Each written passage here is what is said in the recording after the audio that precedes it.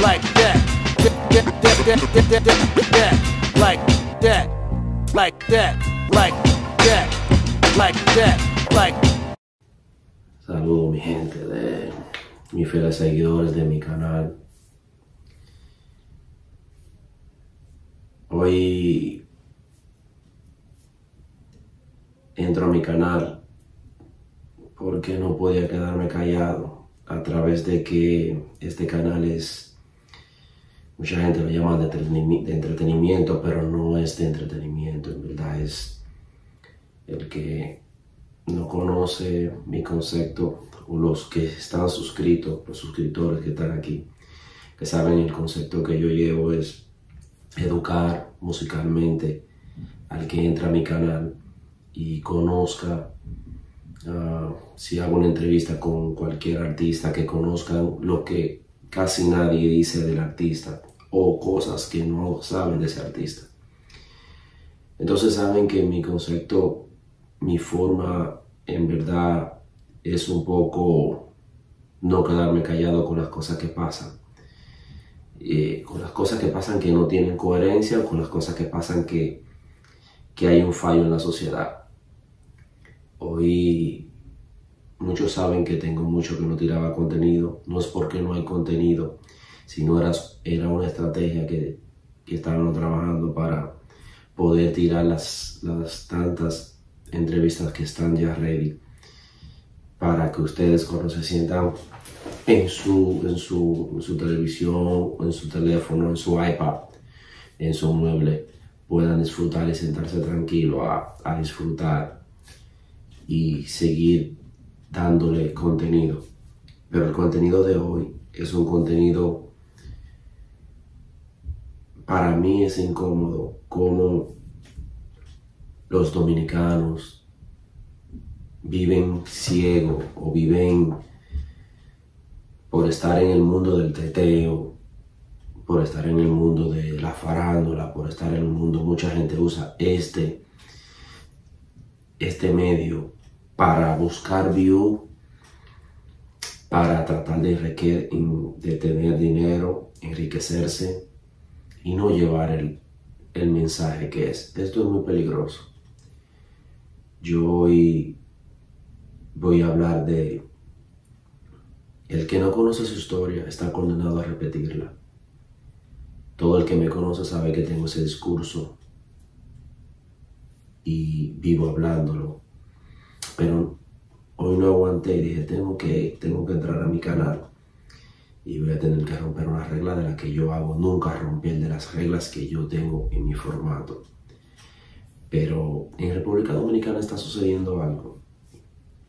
Los políticos, yo le llamo los traicioneros de la patria, porque por dinero tú traicionar lo que Duarte, Sánchez y Mella lucharon para tener una, una República Dominicana libre y que, se, que quede claro, no es nada contra nuestros hermanos haitianos, porque el haitiano que va a trabajar el haitiano que va a ganarse su dinero, no hay problema. No hay ningún problema con él. En Haití desde hace mucho tiempo hay bandas. Las bandas tienen el 90% del control de Haití. Llegando aún que los ricos de Haití han tenido que irse a República Dominicana.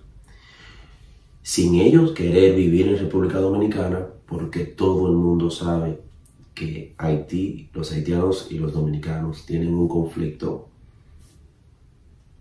de hace mucho tiempo. Por son culturas diferentes, pensamientos diferentes, y es muy difícil cuando dos, dos, dos países no tienen la misma cultura. Es muy difícil que se lleven. Entonces la mayoría de los ricos de Haití ha tenido que salir en una parte en Miami, otra parte en Jamaica, y los que no pudieron ir a ninguno de esos países están en República Dominicana. ¿Qué pasa? En Haití las bandas están bien armadas. En Haití las bandas ya tienen el 90%, como le dije, de Haití. Esas bandas ya están formalizándose hace mucho en República Dominicana. Muchas personas, dominicanos, obvian el problema que trae eso. Porque a muchas personas que le hablan dicen, no, pero que eso no importa, nosotros acabamos con ellos de una vez. Hay cosas que tú no la puedes dejar que cojan poder. Porque una cosa pequeñita así se vuelve grande. Y después que se vuelve grande, el problema es mucho más aún más incómodo. Ustedes ven cómo viven ahí al lado. Incómodo. Por eso el haitiano que tiene problemas, que cruza a trabajar, que va a trabajar para mantener sus familiares en Haití, ese, yo no tengo nada contra ese haitiano. Ni tengo una, una política en contra de ese haitiano. Porque ese haitiano cruza buscando un porvenir por ayudar al que se quedó. Vuelvo y reitero. Mi problema es con las bandas. Porque la mayoría de los políticos y de los millonarios que viven en torres, que ellos piensan que nada le va a llegar, solamente ven la verdad cuando le toca a un familiar o le toca a ellos. Mientras está tocando el barrio, mientras está tocando a lo que ellos no cruzan por ahí ni pasan, no hay problema. A un cónsul dominicano fue secuestrado. Eso no se hizo eco. Y por ese funcionario tuvieron que pagar una recompensa. Señores, ya las bandas están en República Dominicana, ya las bandas haitianas están trabajando en República Dominicana. Eh, hubo un asalto de una donde venden gas y era mitad haitiano y mitad dominicano. O sea, armas fuertes, armas que no aparecen en República Dominicana, son de Haití, de las bandas. O sea, ya están allá. Y cuando yo veo que un gobierno que está supuesto a proteger la población y el patriotismo no hace nada, estamos mal como, como, como país, estamos mal con el patriotismo del dominicano.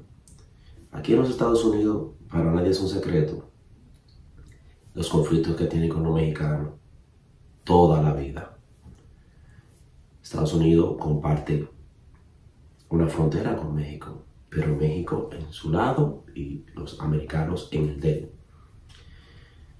Para nadie es un secreto que a este país hay que cumplirle sus leyes, pero protestan porque el otro o los otros países sí tengan que aceptar a los países fronterizos como ellos.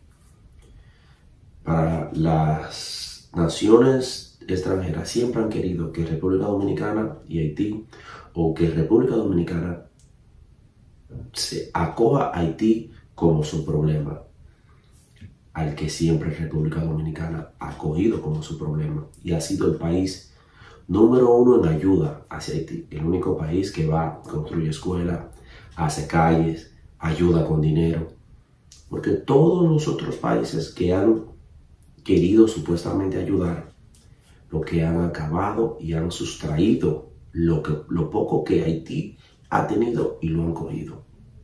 Pero para no salirme de, del tema, señores, por eso yo no creo en política, por eso yo no creo en la política, por eso es que siempre tengo un, algo que me dijo mi padre cuando yo era pequeño. Mi padre me dijo, esté quien esté, esté quien esté mío, yo tengo que trabajar y traerle la comida a ustedes. A mí no me importa quién sea que esté ahí.